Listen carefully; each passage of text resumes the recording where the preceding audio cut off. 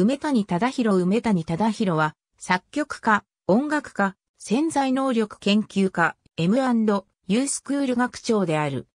吹奏楽の名門と言われた兵庫県の西宮市立、今津中学校にて、徳津武氏に指示。大谷大学入学と同時に、19歳で指揮者、臼木常人に指示し、ビエール室内合奏団、フィルハーモニア東京の首席フルート奏者を歴任。数多くのコンチェルトを演奏。1979年、思い出酒を作曲。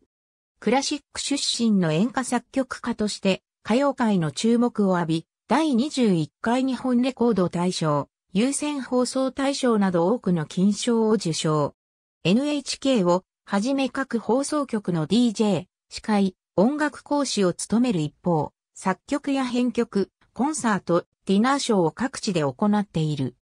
公共詩、生命の作曲を機に、人の心に通じる音を求めて、音楽と潜在意識の研究を深め、1987年、潜在意識開発をテーマとする M&U スクールを開講し、学長に就任。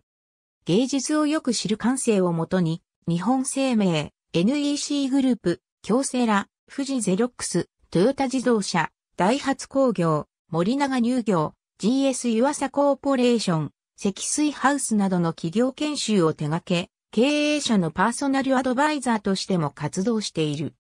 また、各地の小学校、中学校、高等学校、保護司会、校長会をはじめ、自衛隊幹部候補生学校などの教育分野でも講演活動を展開している。